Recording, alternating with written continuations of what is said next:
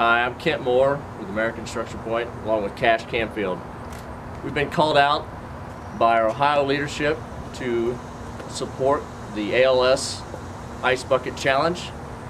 And uh, Cash, I know you'd like to say a few things about who we've been called out also.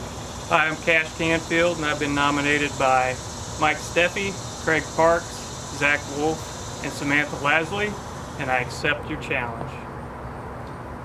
American Structurepoint, we're excited about this. We'd like to also call out the rest of the leadership team and the, the rest of American Structurepoint to help and uh, take out ALS.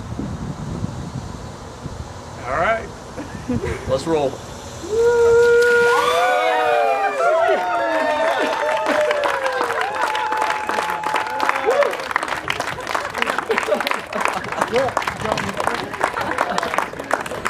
Thanks, guys. That's awesome.